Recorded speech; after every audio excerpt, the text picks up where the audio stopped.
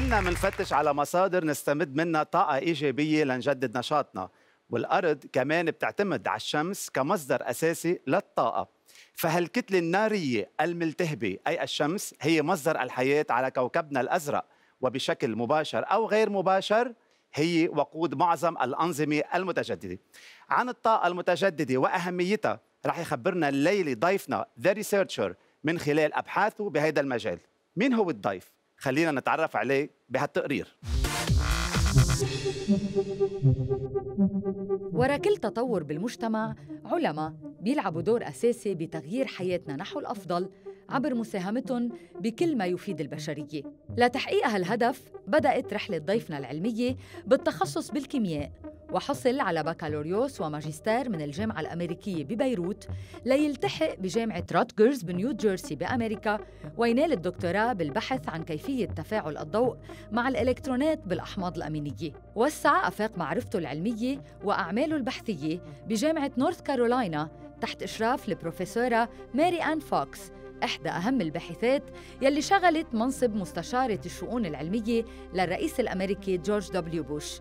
بال 2003 رجع على لبنان وانضم للجامعة الأمريكية ببيروت كأستاذ مساعد بالكيمياء العضوية الفيزيائية وتدرج بالمناصب وصولاً إلى رئاسة قسم الكيمياء بالجامعة. تركزت أبحاثه على الكيمياء العضوية وتحديداً على الطاقة الشمسية خاصة على موضوع الخلايا الشمسية يلي بتحول الطاقة الداخلية بالبيت إلى كهرباء. بجعبته أكثر من 45 منشور علمي صدروا بمجلات علمية عالمية متخصصة وبرصيده براءة اختراع بأصباغ للطاقة الشمسية. شعلة التميز يلي أضاء بمجال الطاقة المتجددة. خولته ينافس يتميز ويحصد جائزة التميز العلمي بالعلوم الأساسية والهندسية من المجلس الوطني للبحوث العلمية عام 2018 بيشغل حالياً منصب رئيس مجلس الأبحاث العلمية وعضو مجلس الشيوخ بالجامعة الأمريكية ببيروت. ضيفنا الباحث الدكتور طارق غدار. خلينا نرحب سوا بدكتور طارق غدار.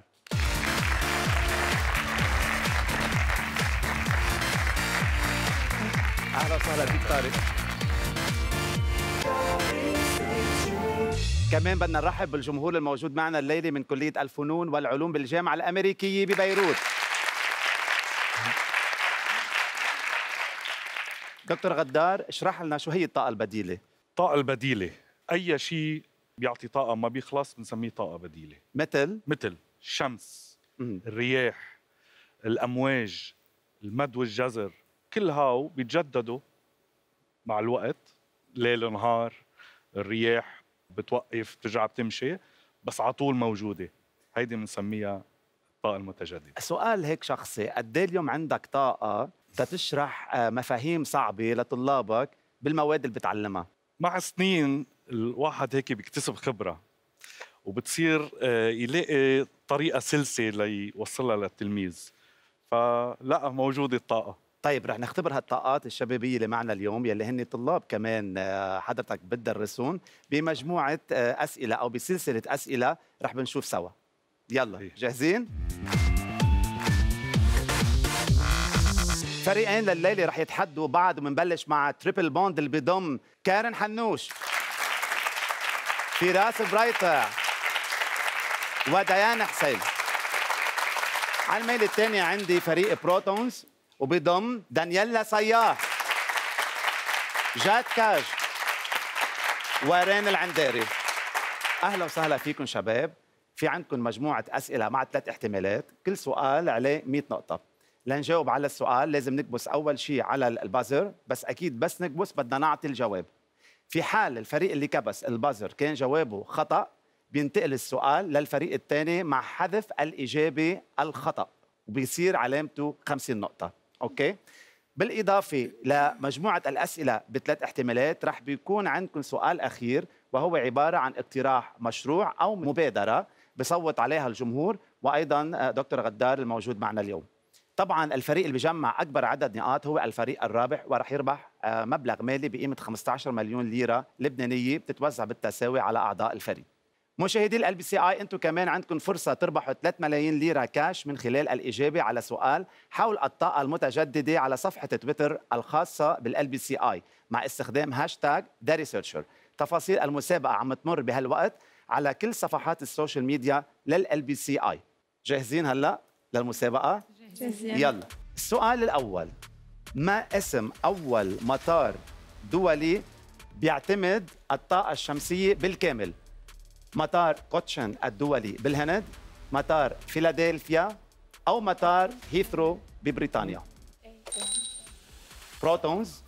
فيلادلفيا بحس بدنا نجاوب على السريع. مطار فيلادلفيا. فيلادلفيا الدولي فيلادلفيا؟ جواب حاسم أكيد من جوابك إيه. للأسف جواب خطأ وبينتقل السؤال للفريق الثاني. مطار كوتشن بالهند. برافو صح.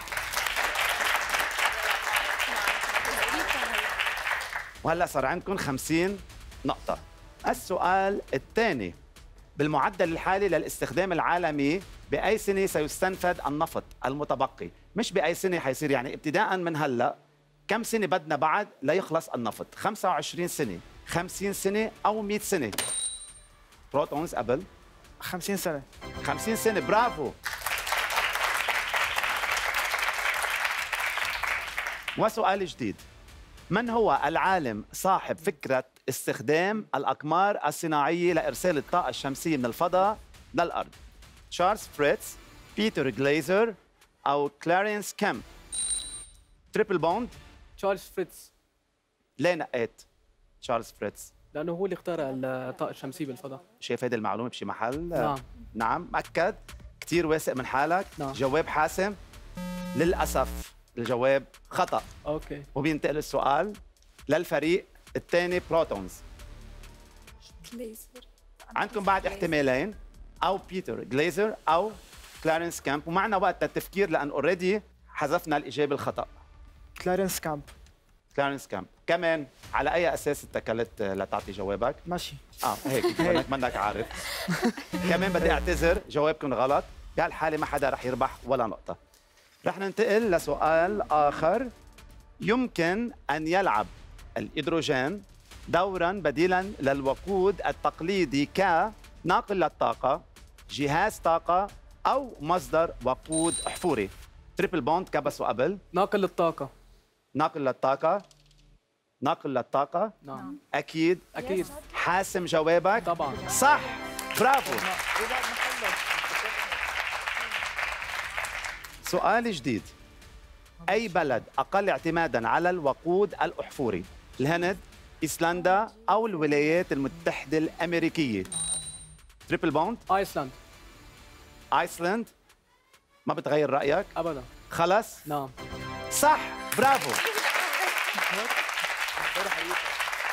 ومجموع النقاط ل Triple Bond هلا 250 ننتقل لسؤال جديد كمان ينتج عن الفحم وهو سبب المطر الحمضي احادي اكسيد الكربون ثاني اكسيد الكربون أو ثاني اكسيد الكبريت Protons آه، ثاني أكسيد الكبريت ليه منه ثاني اكسيد الكربون لأن ما بيعمل بسبب آه، acid rain صح. فبيعمل مطر حمضي. أكيدين من إيه، معلوماتكم. جواب حاسم.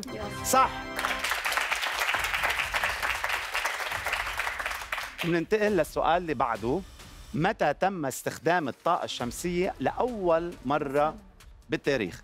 القرن السابع قبل الميلاد أو القرن الثامن عشر أو القرن الواحد وعشرين؟ Triple Bond القرن الثامن عشر. القرن الثامن عشر. خلص خلص جواب حاسم. إيه خلصنا بدك أقول صح أو غلط؟ بدك إياه. مزبوط رح أقول غلط. للأسف الإجابة هي خطأ. فإذا بينتقل السؤال للفريق الثاني. بروتونز شو عندكم جواب؟ ما فينا نفكر بدك تعطوني جواب على آه السريع هلا. الواحد والعشرين. القرن ال 21 فإذا هذا جوابكم. بدي اعتذر من الفريقين. على هذا السؤال الجواب هو ال- يعني ال- الصح هو القرن السابع قبل الميلاد. okay؟ فإذا ولا نقطة رح تنضاف لأي فريق. كمان سؤال. ما هو المكون الرئيسي للخلية الشمسية المحسسة بصبغة؟ ثاني أكسيد التيتانيوم أو اليود أو البلاتين. Triple Bond ثاني أكسيد التيتانيوم. ما رح ضيع لكم وقتكم. صح. السؤال التالي بيقول ما هي وحدة قياس الضوء داخل البيت؟ لوكس، لومن أو شمعة؟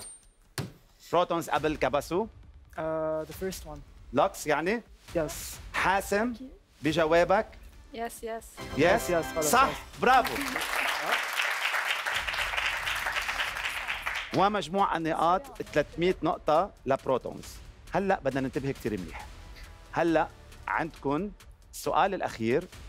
رح تقترحوا مشروع أو مبادرة بتفيد المجتمع. ورح نقيم ال score أو علامة هذا السؤال على ثلاث معايير. أهمية الفكرة قابلية التطبيق قد إيه فينا نطبقها وطبعا قد إيه الفكرة مبتكرة. okay؟ طبعا ال scores هن من واحد لعشرة حيكونوا واحد هو أدنى score وعشرة هو أعلى شيء. ال score النهائي هو معدل تصويت الجمهور مع معدل تصويت الضيف قسم اثنين. okay يعني مناصفة حيكون بين معدل تصويت الجمهور وتصويت الباحث بحلقتنا الليلة دكتور طارق غدار رح نبلش مع فريق Triple Bond معكم دقيقة مش أكثر لتشرحوا الفكرة تفضل مين منا ما عانى مؤخرا من أزمة الكهرباء؟ مين منا ما لاحظ بالفترة الأخيرة كبر حاجتنا الدايمة لطاقة منا مستدامة؟ مشروع فريقنا بيعتمد على إعادة تدوير الورق اللي بيشكل حوالي 16% من نفاياتنا بلبنان وتحويله لمادة مشتقة من السلولوز عبر تفاعلات كيميائية قليلة الكلفة وموثقة مسبقاً. الهدف استعمال هالمادة الأولية لصنع جهاز محمول شبيه بال power banks بيعتمد على تقنية اس سيز اللي ممكن إنها ت- تشحن ال mobiles وال laptops عبر الطاقة الشمسية والضوئية. عبر اعتماد تصميم آمن صديق للبيئة وبكلفة وفعالية مقبولة هدفنا الأول هو عرض هالجهاز على جامعتنا وتجربته من قبل التلاميذ داخل المكتبات وال study rooms على أمل إنه آه، آه، نطاقنا يتوسع أكثر ليشمل الاستعمال الفردي آه، والمؤسساتي. باختصار مشروعنا من البيئة وللبيئة. يمكن القصة بلشت بأزمة والأزمة ما بتدوم بس اكتساب ثقافة الطاقة البديلة وادخالها على تفاصيل حياتنا اليومية هو حلم امبارح، مشروع اليوم وضمانة بكرة. حلو. آم، عندكم بادجت معينة أو ميزانية معينة بيحتاجها المشروع؟ عندكم آه، تقديرات لهيدي الميزانية اللي ممكن يتطلبها؟ ما في تقديرات دقيقة؟ بقدر ما آه، جربنا نركز على تقنيات تكون آه، كلفتها مقبولة. نعم. خلينا نسمع هلأ فريق بروتونز والمشروع اللي لكم هو. نحن كفريق استوحينا فكرتنا من موضوع حلقة اليوم اللي هو الطاقة. آه، فنحن كنا عم نفكر إنه قد إيه لبنان مارق بأزمة آه، طاقة حاليا وقد إيه العالم كله ودول العالم كلها عم تفتش على مصادر طاقة بديلة. فنحن مشروعنا ارتكز على فكرة كيف نولد طاقة بطريقة صديقة للبيئة ومفيدة لصحة الإنسان. أكيد كلنا بنعرف ال machine البيسيكلات الموجودة بالجيم وأكيد كلنا بنعرف إنه فينا من حركة الدويليب تبع البيسيكلات نقدر نستخدم هالحركه لنولد طاقه بطريقة سوبر بسيطة إنه نوصل على هيدي البيسيكلات آه، انفرتر وبطارية وأكيد موتور بشرج لي البطارية ومن الإنفرتر أنا بقدر أرجع شرج ونحن كمان عم نفكر إذا هول البيسيكلتات آه، نحطوا على الطرقات وبالساحات العامة وبال public areas يعني على الكورنيش. كرمال نحن بذات الوقت نكون عم نأمن اناره لهيدي المطارح اللي هلأ معتمة من وراء أزمة الكهرباء وبنكون كمان عم نأمن رياضة للمواطنين. هلأ آه، يمكن آه، نحن بهيدي المرحلة مش قادرين نحل أزمة لبنان كلها بشكل 100% بس نحن آه، بنتوقع إنه حيلا مبادرة لو صغيرة بتقدر تكون جزء من أكيد الأزمة. أكيد طبعا طبعا. كمان مشروع مهم وله potential يعني. على كل اللي رح يحسم الربح على هذا السؤال هو تصويت الجمهور وتصويت آه، دكتور غدار. رح نبلش التصويت هلأ لفريق Triple Bond تفضلوا ودائما بذكر إنه الجمهور الموجود معنا الليلة هو اللي عم يصوت مش المشاهدين اللي عم يحضرونا ببيوتهم. على أعصابكم هلأ ناطرين تعرفوا إذا رح يربح مشروعكم يا لا طيب آه، جربتوا كمان تتواصلوا مع جمعيات آه، هي صديقة للبيئة بتدعم هيك مشاريع قبل تتساعدكم أكثر كمان تاخذوه للمشروع to the next level يعني.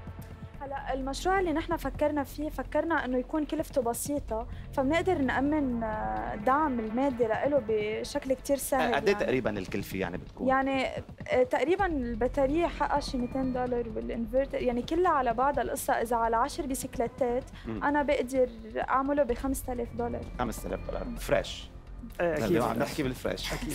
okay. فاذا آه، التصويت ل Triple Bond انتهى. هلأ رح نبلش كمان التصويت ل Protons تفضلوا. جمهورنا ودكتور غدار بهالأثناء عم يعطوا صوتهم للفريق الثاني Protons. برجع بذكر عم ناخذ ثلاث معايير. فإذا إبداعية الفكرة أهمية الفكرة قد إيه مهمة ومفيدة وأيضا قد إيه فينا نطبقها. ومثل ما ذكرنا كل معيار أو كل criterion علامته على عشرة. واحد أقل شيء وعشرة هي ال maximum. الجمهور عم يصوت ودكتور غدار أيضا. رح نشوف هلأ أي فريق رح يجيب أعلى score لينضاف له 225 نقطة. قلوبكم عم بتدق لأنه فعلا سؤال رح يحسم. هيدا سؤال حاسم وخصوصا عم بتكون النقاط متقاربة يعني 350 ل Triple Bond و300 ل Protons يعني 225 بيعملوا فرق كبير. النتيجة صارت حاضرة والشباب على أعصابهم بس بضحكة عم ياخدوها عم يتقبلوا يمكن تحدي بين بعض. جاهزين تشوفوا؟ نعم جاهزين. جاهزين؟ فينا نشوف النتيجة.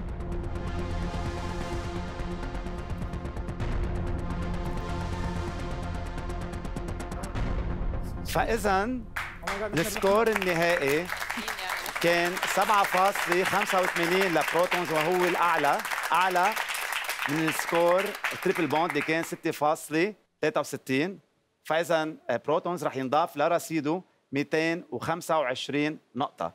النقاط اللي جمعها بروتونز بتكون 525 مقابل 350 ألف مبروك للفريق الرابح ودكتور غدار رح يسلمكم هلأ الجائزة المالية بقيمة 15 مليون ليرة بتتقسم بالتساوي عليكم دكتور غدار تفضل. ألف مبروك.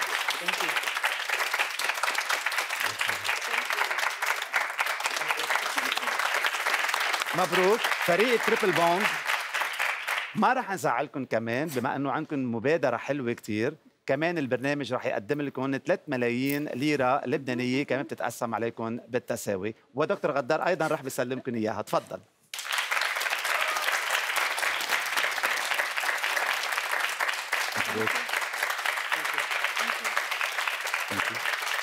دكتور غدار شفنا إنك صوتت آه، أو أعطيت score أعلى لفريق Protons ليه؟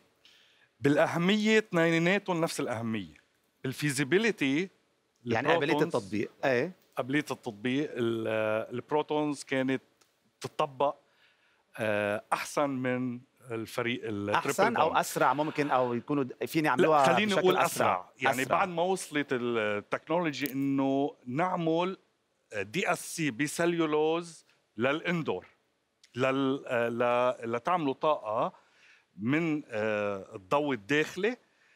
بعدها ما وصلت لهيدي المرحلة بدها وقت آه، خاصة على السليولوز يعني بتكون ال efficiency كتير واطية آه، يعني عم نحكي بين 2% مم. فبس تصير 15 و20 إن شاء الله بتصير بس أكيد عندهم ساعتها. هن الحماس يمكن والإرادة تيكملوا ويشتغلوا على هذا المشروع يمكن أكيد. بالتعاون معك و- أكيد ودعمك لإلهم The Researcher متابع معكم ولكن قبل الفاصل بدي أذكر المشاهدين يجاوبوا على سؤال حلقة الليلة على تويتر اللي بخولكم تربحوا مبلغ مالي وأكيد ما تنسوا تحطوا hashtag The Researcher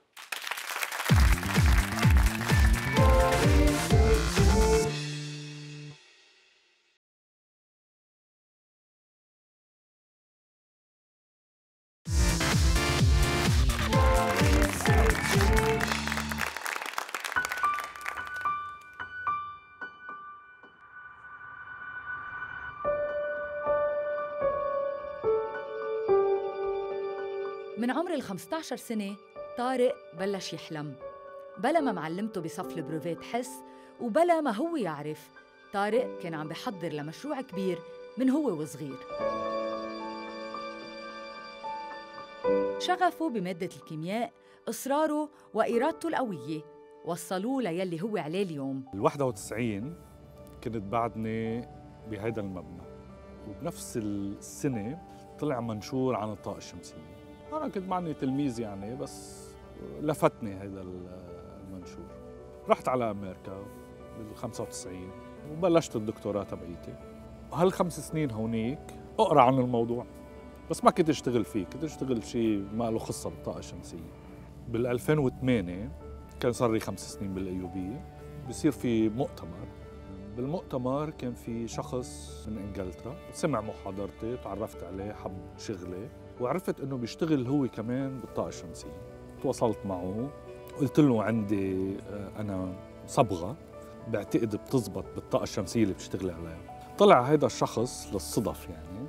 هو ذاته اللي كاتب المنشور اللي بال 91 قريته أنا وعجبني الموضوع من وقتها.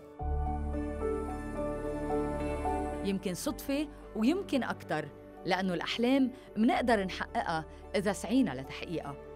وهيك بلش طارق مسيرته بالنجاح وكانت بداياتها مختبر صغير على سطح البناية اللي كان عايش فيها وكان يضحي بمصروفه من أهله ليجري أبحاث صغيرة لمشروعه الكبير. ما كان عنده صبر وحب المنافسة إرادته القوية وشجاعته خلوه يتواصل مع أهم الباحثين بمجال عمله ويحقق أهدافه بالتضحية بالسهر وبالتحدي. قدر طارق يوصل ويصير الدكتور طارق. ويمكن الطريق بعدها بأولها وما منعرف الدكتور طارق بكرة شو مخبي لنا.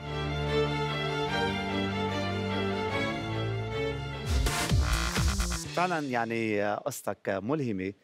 كنت على سطح البناية عامل مختبر هيدا أنت وصغير.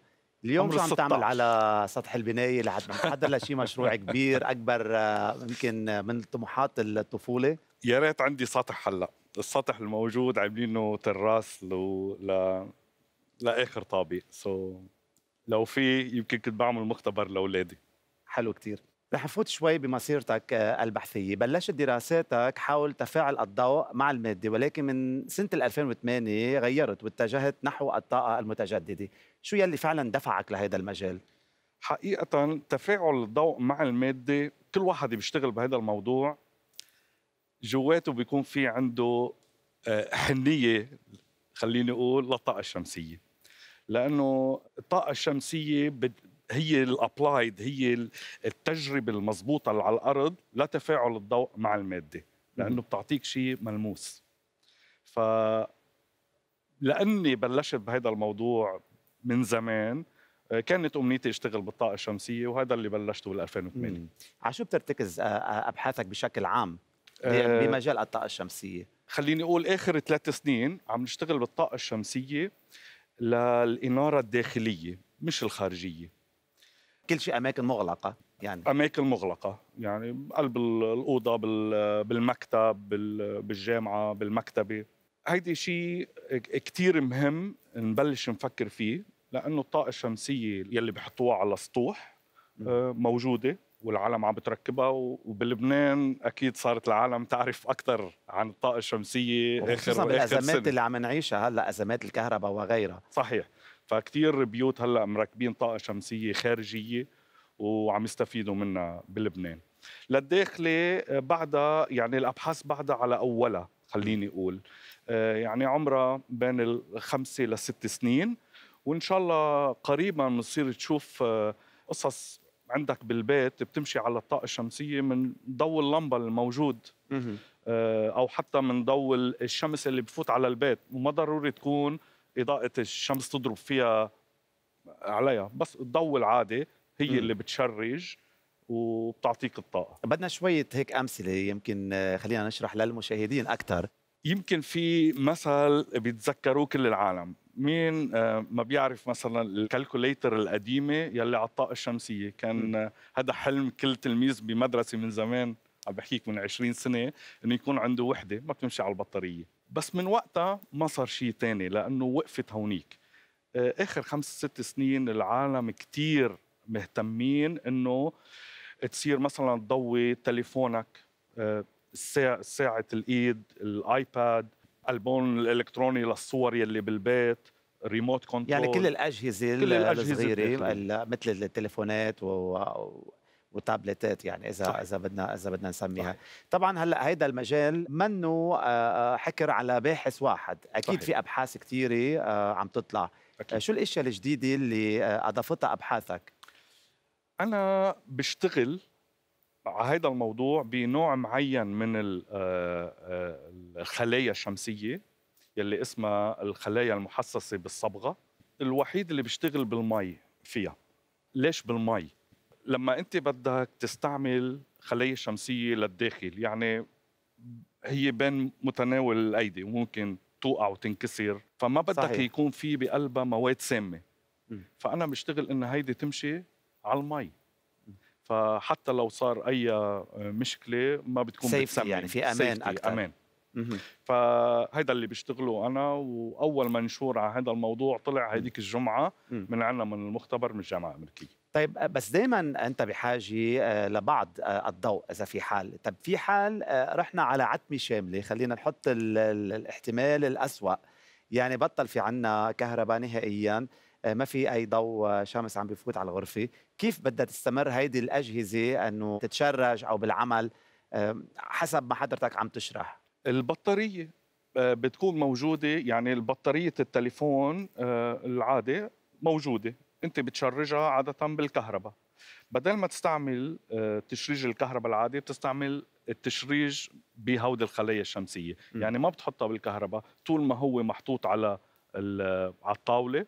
في ضوء بالأوضة بالنهار عم بيتعبى. بالليل ما في البطارية بتشتغل. بكمل بكمل بكمل. على البطارية. بالسنوات الأخيرة القطاع الصناعي المرتبط بالطاقة المتجددة لفت أنظار كتار من المستثمرين ورجال ال- الأعمال بجميع أنحاء العالم. سامي كتيلي رجل أعمال آه، لبناني ورئيس مجلس إدارة مجموعة آه، بابستيل للصناعات الحديدية بفيتنام.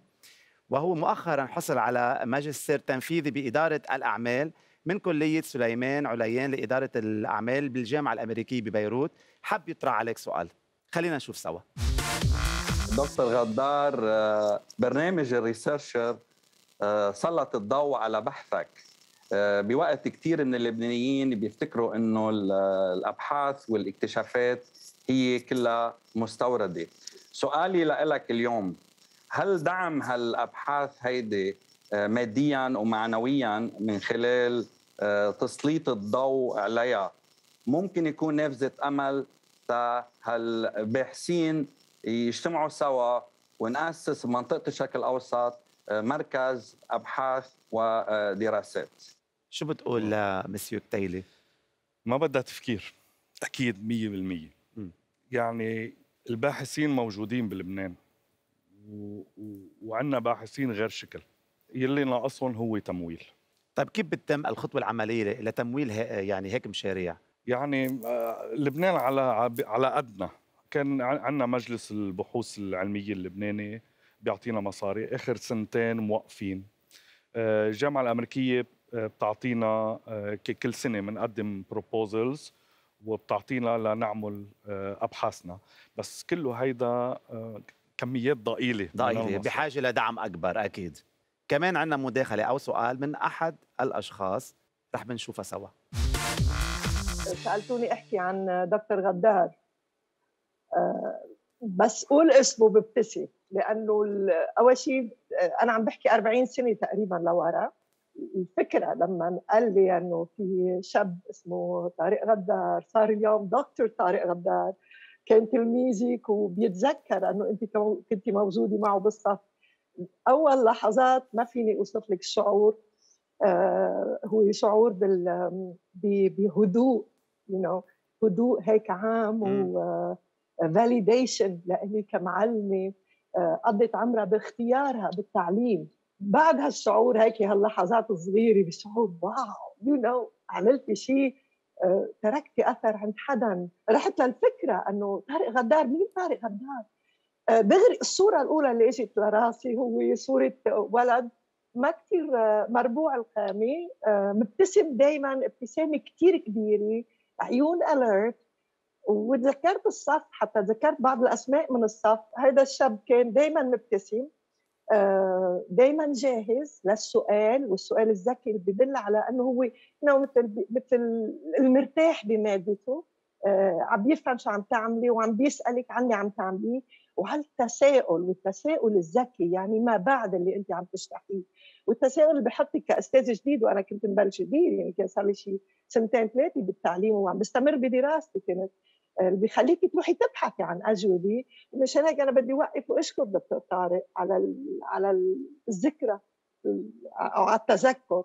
الشباب اللي بعمر طارق اليوم بدي أقول لهم طلعوا الحلم وصل. آه، بكرة موجود سئنا أم أو بينا وطلعت ونزلت الأمور والدولار والأحوال السياسية تتغير ظروف البلاد. بس الإنسان اللي بيحلم كبير وبيعتمد على نفسه وبيصر إنه بكرة موجود وبيروح باتجاه العلوم أو العلوم أو أو الآداب أو الفن برغبة التغيير نحو الأحسن. محل ما هو موجود رح يوصل. دونت وري للاساتذه حطوا حطوا بالصف بقول لهم ما في شيء حيكافئكم على وظيفتكم.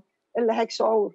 بعد 40 سنة تقولوا لحالكم واو أنا حطيت شيء انسانيا بمجتمعي آه، بعده موجود ولك عم يستمر وعم يكمل. أه؟ بدي أرجع لدكتور طارق أقول إنه أه علميا أنا ما لي ابدا دور.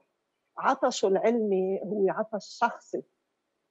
أنا كنت وحدة من الناس اللي كانت بطريق دكتور طارق بشكره إنه أعطاني شوية كريدت بس عطشه للعلم وهز ريزيلينس والمحيط اللي حواليه طبعا والمدرسة ككل اللي كان موجود فيها أنا كله كثير بقدرهم آه لهم دور كثير مهم بحياته هو بس أهم شخص بحياته هو هو هو. بالدرجة الثانية هو عائلته وهو واليوم الطابه بإيده. هو أستاذ كبير كثير اليوم آه ودوره كثير كثير مهم. العلمي والإنساني. آه ويعطيه ألف عافية. مثل ما قلت رح ابعث له رساله صغيرة خطية لإله آه، فيها تساؤل وفيها شكر.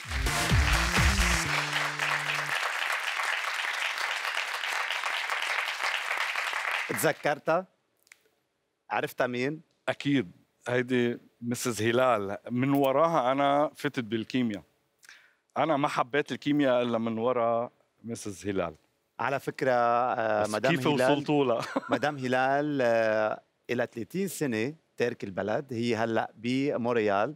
وعلى فكرة شفت كثير تأثر بعيونك يعني على شوي كنت رح بتدمع آه، أنت وعم تحضرها. صحيح. وبعدك يعني لهلأ بتتذكرها بتتذكر ملامحها. هيدا الشيء فعلا هيك كمان بكبر القلب إنه شهادتها قدرت يمكن زرعت شيء أو استثمرت شيء بطالب وشايفته اليوم يمكن صار من أهم الباحثين بلبنان. علمتني هي بالبريفي الكمستري لاول مرة.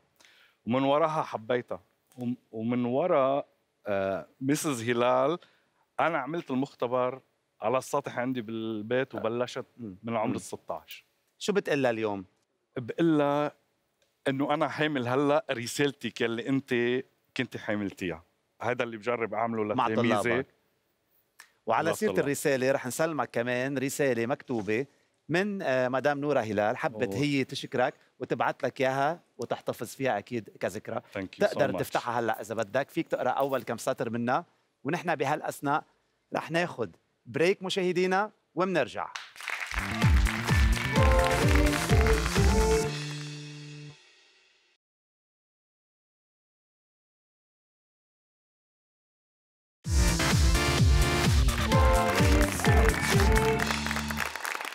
عودة لكم مشاهدينا وبنرجع لحوارنا مع دكتور غدار في سؤال آه، هون هيك لفت لي نظري إنه بالطاقة الشمسية بتستعملوا ألواح آه، زجاجية ما هيك صحيح. ونحن اليوم آه، في اتجاه نحو الاقتصاد الدائري اللي هو بيهتم بإعادة تدوير المواد قد إيه كمان هيدي الألواح قابلة للتدوير تعتبر الألواح المستعملة بال بالخلايا الشمسية إيه. إيه. بتتدور مثلها مثل الزجاج العادي اللي بنستعمله بالبيت. فتدويرها آه، ممكن. وخاصة هي إنه بتشكل أكثر من 95% آه، من المواد الصلبة بقلب الخلية الشمسية. فبتتدور بكل سهولة. حكينا عن الطاقة المتجددة وتوليد الكهرباء من أشعة الشمس. خلينا نشوف هلأ كيف بتم توليد الكهرباء من الطاقة النووية من خلال أبحاث زميلك أستاذ بعلم الفيزياء دكتور غسان عنتر.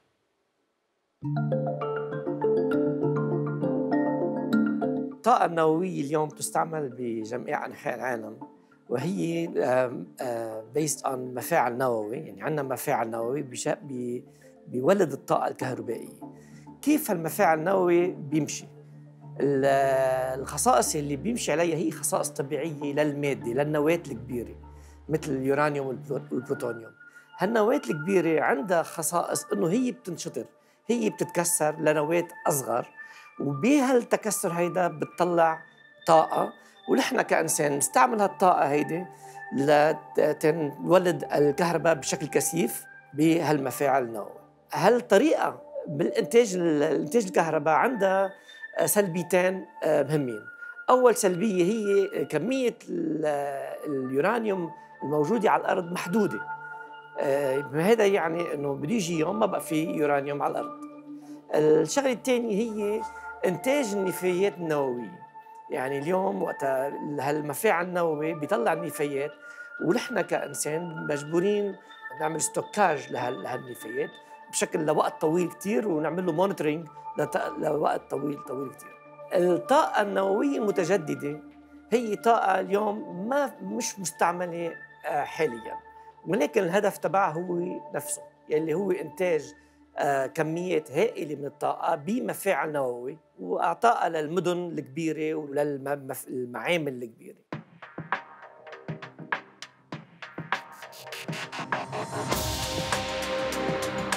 الهدف من الأبحاث لنا هو إنه يكون آه، في عنا بشكل للعالم الكهرباء بشكل كثير آه، كثيف. ويكون كثير رخيص. وما نعمل نفايات أو نعمل نفايات نووية. بما أنه بلبنان ما فينا نحن نعمر مفاعل نووي. اللي قدرنا عملناه هو نعمل جهاز محاكاة simulator plasma simulator اللي موجود خلف مني هون.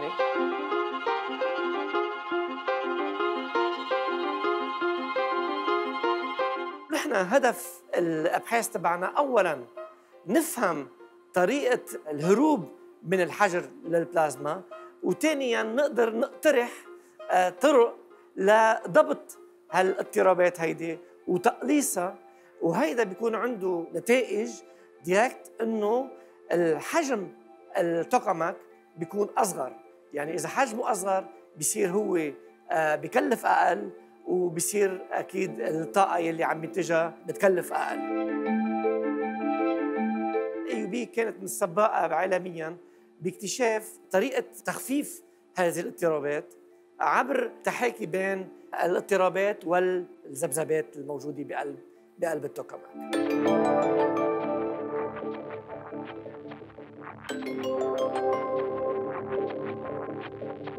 عملنا أبحاث عن الاضطرابات بالغلاف الجوي وكيف هالشيء معقول يصير وشو بيعلمنا عن الانصهار وشو بنتعلم من الاضطرابات بالغلاف الجوي عن عن الانصهار هالآلة هي ميد ان لبنان يعني هيدي اللي إحنا مصنعينها. هون مصنع هون وهيدا مصنع هون وهيدا مصنع هون. آه يعني مش شغلة نحن شاريينها ومركبينها ومثل ما شفتوا المي كلها مصنعة هون وحتى ال antennas اللي معمولة هون مع ال cooling تبعها. so This is really made in Lebanon. يعني اللي عم نشوفه فعلا بيعطي طاقة أمل كبيرة بس برأيك شو العائق؟ يعني دكتور عنتر عم يشتغل على أشياء كثير مهمة ممكن نولد منها كهرباء وحضرتك كمان عم تشتغل على على الخلايا الشمسية شو العائق الأكبر هون بلبنان حتى ما تتنفذ المشاريع عمليا على الأرض؟ شغلتين لأعطيك مثال أنا مثلا عملت براءة اختراع بأصباغ لا تستعمل بالخلايا الشمسية ما قدرت تلاقي حدا آه، يشتري هاي البراءة الاختراع لا يبلش فيها إنه بالمنطقة ما في حدا. كيف ممكن نسلط الضوء على براءة اختراع يمكن كثار من الناس إنه ما بيعرفوا فيها أو مستثمرين؟ بس تطلع براءة اختراع عادة بتكون منشورة. بس منشورة محصورة يمكن بالناحية أو بالمجتمع الأكاديمي أكثر أه صحيح. في أكثر من عائق بيوقف آه، للواحد يكمل أبحاثه بلبنان. آه، أول شيء تلاقي ناس يلي مهتمة آه، آه، تمول هالبراءة اختراع لا ليكمل الشغل فيها. هيدي أول شيء. ال- الصعوبة الثانية إنك تلاقيهم لهودي الناس المهتمين يمولوا هالمشروع. كيف بتفتشوا عليهم عادة؟ هلأ عادة بيكون في مكاتب مختصة ل... لهن ياخذوا هالبراءة الاختراع. ويفتشوا على الممولين مو- ممول. حقيقة أنا بعرف مني ومن زملاء إلي نحن فتشنا. نحن شخصيا عن شركات مبادرات يعني فردية فردية. بتكون. وهيدي بتصير كتير صعبة ل... لتلاقي ناس تمول لك المشروع نعم نظام الطاقة المتجددة هو صديق للبيئة وإيمانا منا تبنت الجامعة الأمريكية هالنظام من أجل حياة أفضل لطلابها على أمل اكتمال المشروع مع الدعم اللازم من الناس أو الأشخاص أو المؤسسات اللي بتآمن بلبنان لبنان العلم والثقافة منشوف هالتقرير. أهلا وسهلا فيكم بالجامعة الأمريكية ببيروت بدي اخبركم عن رحلة كتير حلوة بلشناها نحن وال EU وال CEDRO program بتركيب مشروع لوحات طاقة شمسية على مبنى كلية الهندسة بال AUB. نجاح هذا المشروع وفر حوالي 30 ل 35 ألف دولار مصروف طاقة بالسنة والأهم من هيك أنه هو ساعد بتوفير كبير بانبعاثات ثاني أكسيد الكربون. هالنجاح بحد ذاته دفع الجامعة لتكبر هالمشروع وتبنت خطة لتحط على سطوح المباني تاعولها حوالي 2 ل 3 ميجا وات طاقة شمسية. والأهم من هيدا كله أنه هالمشروع مش بس حمس الجامعة حمس المجتمع حول الجامعة والمدارس حول الجامعة. المشروع ساهم بتوعية التلاميذ إن كانوا تلاميذ الجامعة ولا تلاميذ المدارس على الفائدة من الطاقة البديلة. ومن هالصرح بالذات بدي شجع كل واحد فيكم يمشي هيدا الطريق هيدي الطريق هي طريق الأمل للبنان الأخضر اللي نحن بنحبه هلأ دكتور غدار أنت بتشتغل على الطاقة ضمن الأماكن المغلقة مش الطاقة الشمسية بشكل عام مثل ما عم بيتم توليد كهرباء وغيرها. واليوم لبنان أو كتار بلبنان عم يتجهوا لتركيب طاقة شمسية. كيف بتقرأ هالخطوة؟ خطوة كتير مهمة. يعني آه لأعطيك مثال. آه اليوم أعلنت آه تركيا أنها ركبت آه 8000 ميجا وات آه كهرباء طاقة شمسية بس. هيدا رقم منه صغير. ليش؟ لأنه الكلفة أقل آه، المادية وعلى البيئة. آه أي وقت أنت بتعرف من معامل ال- الكهرباء اللي عندنا معامل معمل الذوق الجية بيولدوا آه، كتير غازات يلي منا حميدة لل- للبيئة. الطاقة الشمسية ما بتولد أي نفايات وما بتأثر على البيئة. تمتص الشمس تعطيك كهرباء هي هي بس يمكن نحن هون بحاجة أكثر لدعم مادي لحتى نفوت بمشاريع مثل هيدي. بس على صعيد الدولة بعتقد لازم يتبنوا يلاقوا ميزانية معينة ويتجهوا نحو الطاقة الشمسية النظيفة إذا بدنا نسميها. دكتور غدار ليه ركزت على الطاقة الشمسية آه، للأماكن المغلقة؟ آه، آخر كم سنة بتلاحظ إنه كثير صرنا عم نستعمل ال- الآلات الصغيرة بالبيت يلي آه، تستهلك ال- الكهرباء من تليفونات لآيبادات ل لساعات لواي فاي أو يمكن مع الكوفيد إنه أزمة وف- الأونلاين صارت كل. الناس بدها تعطي المواد. آه، هيدا الشيء بيتطلب أكثر يمكن استخدام آه، هدول ال- الأجهزة. هلأ يمكن تقول لي بس هيدي ما بتصرف كتير كهرباء بس بدي أعطيك رقم هيك للواحد يفكر فيه. من هلأ آه، ثلاث سنين من هلأ ل 2025 30 مليار جهاز من هيدي الأجهزة رح تكون آه، مستعملة كل يوم على الكرة الأرضية. 30 مليار. رقم يعني رقم صغير مهول. رقم كتير كبير. يعني. إذا بتعد أنت هلأ عندك بالبيت قد إيه في؟ على القليله عندك تليفونات. 10 صح بين تليفونات اولادك وهال- كمبيوترز. وكمبيوترز آه، لابتوبس. سو الرقم كتير كبير. فتخيل بعد عشر سنين قد إيه هالرقم رح يكون وقد إيه كلهم هاو بيستهلكوا طاقه وبيأثروا على البيئة بآخر النهار هذا الدافع الأساسي اللي خلاك أكثر إنه. تكون مهتم بالطاقة البديلة أو الطاقة الشمسية للأماكن المغلقة. صح الفن له حصة كمان بحلقتنا الليلة فهو يعتبر بريد سريع لإيصال رسائل توعوية لجيل الشباب. الممثل المتألق بديع أبو شقرة من أولوياته الحفاظ على بيئة لبنان خالية من التلوث والتعدي. خلينا نشوف بهالتقرير. هلا صحيح أنا تجربتي متواضعة بهذا المجال. ولكن تجربة فيها بوتنشلز كثير كبيرة. هي الاعتماد على الطبيعة من أجل الطبيعة. الاعتماد على الموارد الطبيعية والطاقات الطبيعية من أجل المحافظة على الطاقات الطبيعية بهالكرة الأرضية اللي عايشين فيها. وطبعا ما كنا بنعرف شو عم بيصير الاحتباس الحراري وخاصة مؤخرا كمان آه، آه، في كوارث طبيعية عم بتصير عم بتغير نوعا ما طبيعة الكلايمت على على الأرض. العودة إلى الطبيعة من أجل استغلالها بدون ما ننزعها بهذه الطاقة البديلة والطاقة المتجددة بإنتاج كل الطاقة اللي بحاجة لها. آه، هلأ بطلت نوع من الفانتزي لا هلأ صارت ضرورة وحاجة لأنه الكرة الأرضية لم تعد تحتمل بعد. الاعتماد على الطاقة المتجددة هو يعتمد على الشباب المتجدد. على طريقة جديدة بمقاربة آه، الطاقة. وقد ما هذا الموضوع أنا بشكل لي آه، آه، جدل وبشكل لي اهتمام رح اخبركم شغلة هي أول مرة بخبرها. نحن هلأ بطور تحضير مسلسل وهذه الشغلة أول مرة بقولها على إحدى المنصات. هذا المسلسل يحكي عن موضوع الطاقة البديلة لأنه صار في نقص بالريسورسز على وجه الأرض بقى ما بقى تكفي الناس صار بدنا نعتمد على الطاقة البديلة. ولكن بالمسلسل نحن نعتمد على الطاقة البديلة اللي بنجيبها مش من الطبيعة اللي بنجيبها من الإنسان ذاته. ما فينا نخبر قصته هلأ ولكن هذا موضوع جديد عم نبحث فيه آه وعم نجرب نطلعه على الدراما لأنه برأينا إنه في مجموعة كبيرة من الشباب والجمهور اليافع رح يهتم بهذا الموضوع أكثر من مواضيع المسلسلات التقليدية اللي بس تعتمد على على العواطف مشان هيك عبر برنامج Researcher do your research and find the energy from the nature. ما في حل لنا غير هيك لننقذ حالنا ولننقذ توصيف كتير حلو من الفنان بديع أبو شقرة وكمان scoop هيدا عم بيعملوا مسلسل أول مرة بيعلن عنه يمكن ب The Researcher عن الطاقة البديلة. كيف بتلاقي الفن ممكن يساهم؟ بعتقد أسرع طريقة. نحن مثل ما قلنا بريد سريع. بريد سريع صحيح.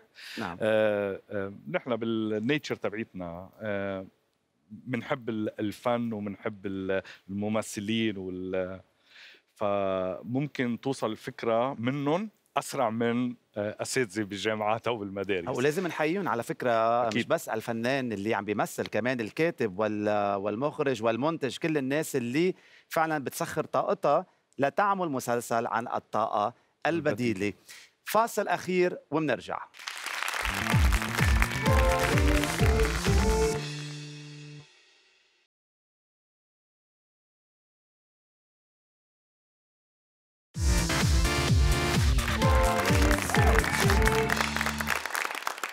وهلا وصلنا لفقرة خمسة على خمسة. بدي منك جواب على كل سؤال بكلمة أو بجملة.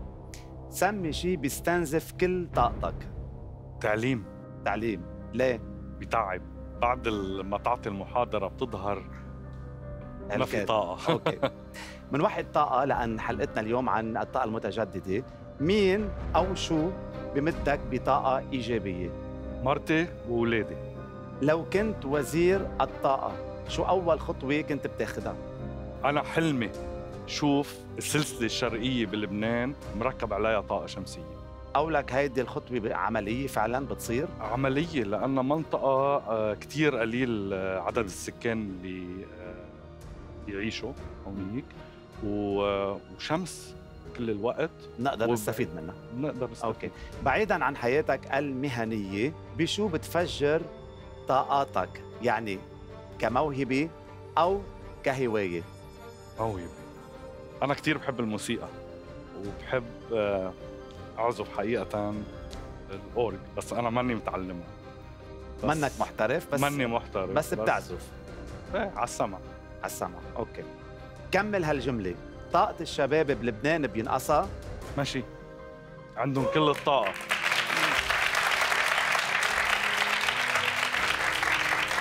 هاي هي أسئلة خمسة على خمسة ورح نروح هلأ لقضيتك. دكتور غدار بدي أشكرك على حضورك معنا لليلة. رح أقدم لك هالقلم اللي بيحمل اسمك. بدي إياك تصرح عن قضية بتقدر تخدمها من خلال أبحاثك ومن بعدها تكتب عنوانها بكتاب The Researcher تفضل. thank you كثير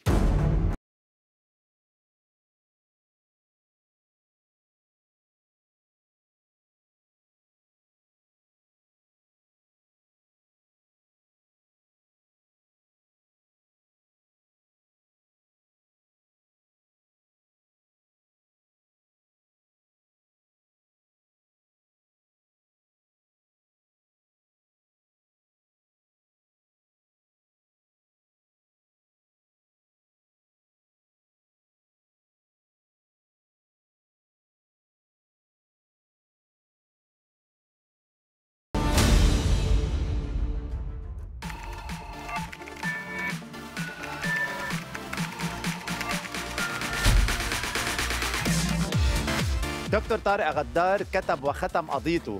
ونحن صار لازم نختم حلقتنا على أمل اللقاء الأسبوع المقبل بقضية جديدة. كونوا على الموعد.